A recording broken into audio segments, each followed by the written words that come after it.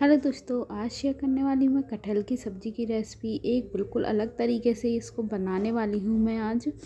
तो यहाँ पे मैंने कटहल लिया है, एक किलो के करीब कटहल लिया था और इसको इस तरीके से बड़े, थोड़े से बड़े साइज़ में मैंने कट कर लिया। आप चाहो तो थोड़े साइज़ में भी कट कर सकते हो। उसके बाद मैंने एक बर्तन रख दिया था, उसमें पानी गर्म होने के लिए रख दिया है और इसमें मैंने थोड़ा सा हल्दी और थोड़ा सा नमक, एक एक चम्मच के करीब मैंने इसमें ऐड कर दिया है। और पानी अच्छे से जब बॉयल लगेगा। और हल्दी का कलर अच्छे से पानी में मिक्स हो जाएगा, तब मैं इसमें ये कटहल है अपना जो मैंने काट के रखा हुआ था, वो इसमें ऐड कर दूँगी। इससे क्या होगा जी कटहल में जो कालापन है और इसकी जो भी धूल मिट्टी इस पर लगी रहती है, वो सारी निकल जाएगी, अच्छे से साफ़ हो जाएगी।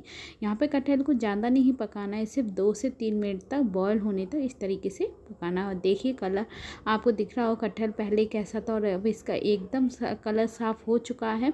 दो से तीन मिनट हो चुके थे, गैस मैंने बंद कर दी थी और सारे कटहल को इस तरीके से मैं थोड़ा थोड़ा करके प्लेट में इस तरीके से निकाल के ठंडा होने के लिए रख दिया है। अब यहाँ पे एक कढ़ाई रख दी है मैंने गर्म होने के लिए और कटहल की सब्ज़ी में मस्टर्ड ऑयल में बनाने वाली हूँ क्योंकि मस्टर्ड ऑयल में इस सब्ज़ी का टेस्ट दो गुना बढ़ जाता है। अगर आप चाहो तो मस्टर्ड ऑयल यूज़ नहीं करना चाहते तो आप कोई भी ऑयल यूज़ कर सकते हैं। ऑयल अच्छे से गर्म हो चुका था और कटहल भी ठंडा हो चुका था तो अब है इसको फ्राई करने की बारी। तो यहाँ पर मैंने तो आध आधा आधा करके कटहल को फ्राई करने के लिए इस तरीके से कढ़ाई में मैंने इसको डाल दिया और अच्छे से हम इसको फ्राई कर लेंगे। अच्छे से गैस की फ्लेम को आप हाई भी कर सकते हो मीडियम भी कर सकते हो, ये आपके ऊपर है। आपको जिस तरीके से इसको फ्राई करना है लो फ्लेम पर या हाई फ्लेम पर आप कर सकते हो। तो अच्छे से चलाती हूँ हम कटहल को इस तरीके से फ्राई कर लेंगे। इससे सब्ज़ी का टेस्ट दो गुना बढ़ जाता है। एक मैंने जो पहला जो कटहल मैंने इसमें डाला था कढ़ाई में, वो अच्छे से फ्राई हो चुका है। एकदम आपको दिख भी रहा होगा फ्राई होने के बाद इसका कलर भी चेंज हो चुका है। तो इसको अब हम निकाल के अलग प्लेट में रख दूँगी और जो बाकी का कटहल हमारा बचा हुआ था, उसको फ्राई करने के लिए मैंने कढ़ाई में इस तरीके से डाल दिया है। अब जो दूसरा बैच हमारे कटहल का फ्राई हो रहा है, जब तक मैं इसका एक पेस्ट बना के तैयार कर लूँगी। तो यहाँ पर मैंने पाँच से छः हरी मिर्ची ली हैं। उसके बाद मैंने दो बड़े साइज़ की प्याज ली थी तो इसको भी इस तरीके से रफली चॉप कर लिया है और इसका पेस्ट बनाने के लिए मैंने मिक्सी जार में डाल दिया है। आप चाहो तो कद्दूकस भी कर सकते हो और यहाँ पर थोड़ा सा पानी ऐड करके मैं इसका एकदम पेस्ट बारीक सा पेस्ट बना लूँगी। और यहाँ पर दूसरा बैच भी मेरा कटहल का जो मैंने डाला हुआ था, वो भी अच्छे से फ्राई हो चुका है। इस तरीके से मेरा सारा कटहल फ्राई अच्छे से हो चुका है। यहाँ पर मेरा पेस्ट भी प्याज और हरी मिर्ची का पेस्ट बनाया था, वो भी बन के रेडी हो चुका है। और जो ऑयल बचा हुआ था कटहल को फ्राई करने के बाद, उसमें मैं अपने कटहल की सब्ज़ी बनाने वाली हूँ। तो यहाँ पर मैंने थोड़े, दो तेज़ पत्ते डाल दिए, एक चम्मच मैंने जीरा ऐड कर दिया है। दोनों चीज़ें अच्छे से पक चुकी हैं। तो जो हमारा प्याज और हरी मिर्ची का पेस्ट था उसको मैंने इसमें ऐड कर दिया और लास्ट में मैंने ये दो लाल मिर्ची ऐड कर दी हैं। अब यहाँ पे हमारी जो पेस्ट बनाया हुआ है प्याज और हरी मिर्ची का इसको अच्छे से भूनना है और इसके यहाँ पे गैस की फ्लेम को मैंने मीडियम कर लिया था। इसमें साथ ही प्याज के पेस्ट के साथ ही मैं इसमें मसाले भी ऐड कर दूँगी। तो यहाँ पे मिर्ची ऐड की है एक चम्मच, नमक टेस्ट के अनुसार ऐड कर दीजिएगा। आधा चम्मच हल्दी पाउडर ऐड किया है, साथ ही मैंने एक चम्मच यहाँ पर धनिया पाउडर ऐड किया है और इसको अच्छे से हम मिक्स कर लेंगे और यहाँ पर अब बारी है मसाले को अच्छे से भूनने की। जितना अच्छे से मसाला भूनता है उतना ही सब्ज़ी का टेस्ट दो गुना बढ़ जाता है। तो यहाँ पे अब मैंने सारे मसाले ऐड करने के बाद यहाँ पे मैंने एक चम्मच डाली है कश्मीरी लाल मिर्ची पाउडर। इससे सब्ज़ी में बहुत अच्छा कलर भी आ जाएगा।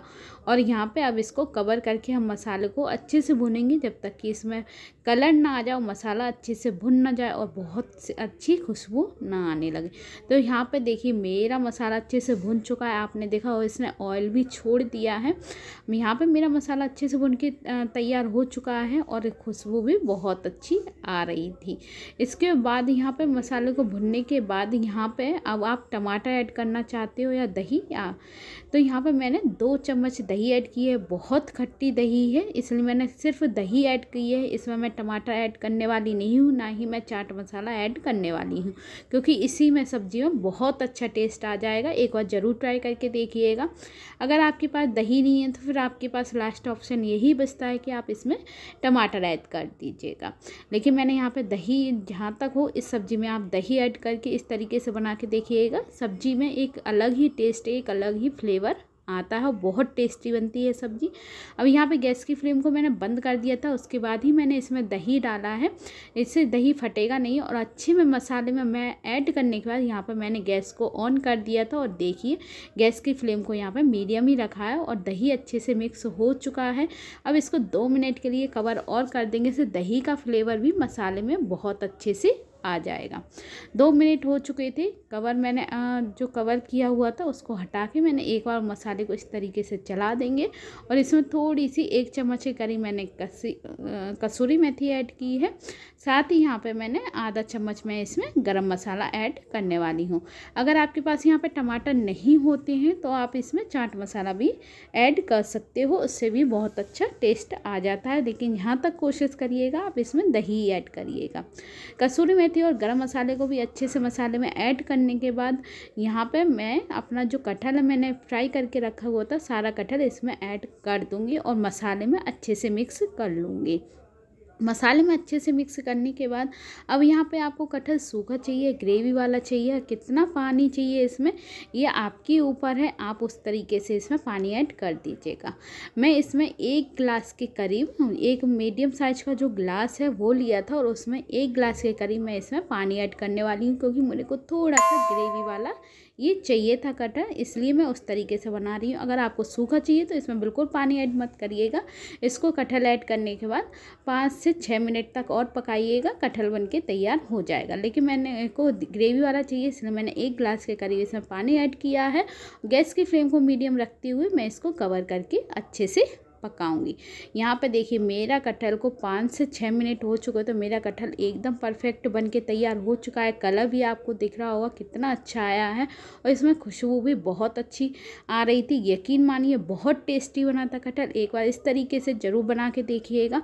और मेरी ये वाली कटहल वाली रेसिपी पसंद है मेरे चैनल को लाइक, शेयर और सब्सक्राइब ज़रूर करिएगा। कमेंट बॉक्स में कमेंट करके बताइएगा आपको मेरी कटहल की रेसिपी कैसी लगी। और फीडबैक देना बिल्कुल मत भूलिएगा। इसको आप रोटी के साथ पूड़ी के साथ, चावल के साथ जैसे भी खाना चाहो खा सकते हो। बहुत टेस्टी लगता है। एक बार ज़रूर ट्राई करिएगा। मिलती हूँ मैं नेक्स्ट वीडियो में नई रेसिपी के साथ। जब तक के लिए बाय।